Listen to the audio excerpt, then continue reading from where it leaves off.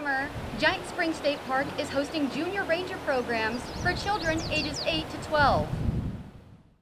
The program is a series of four hands on learning events, each with a different topic and related activities and games. The programs are an hour and a half long and will be held every other Saturday from June 26th to August 7th. During the programs, we talk about um, different features of the park, different features of recreation, and of course some of the natural processes that occur in um, our ecosystem. The first Junior Ranger program taught the participants about all the aquatic species that can be found in the park, and with the help of a guest speaker, learned the responsibility of keeping a clean and healthy environment for those species.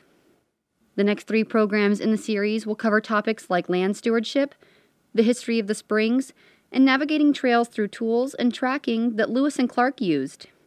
Rangers who attend two of the programs will be awarded with a Junior Ranger badge, and those who attend four sessions, either here at Giant Springs State Park or at the First Peoples Buffalo Jump State Park, will get to attend a special campfire celebration at the Springs.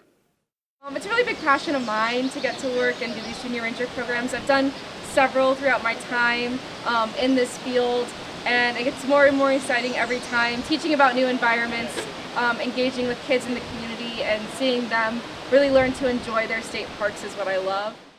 All the Junior Ranger program events this summer are free to attend, but are limited to 20 participants each.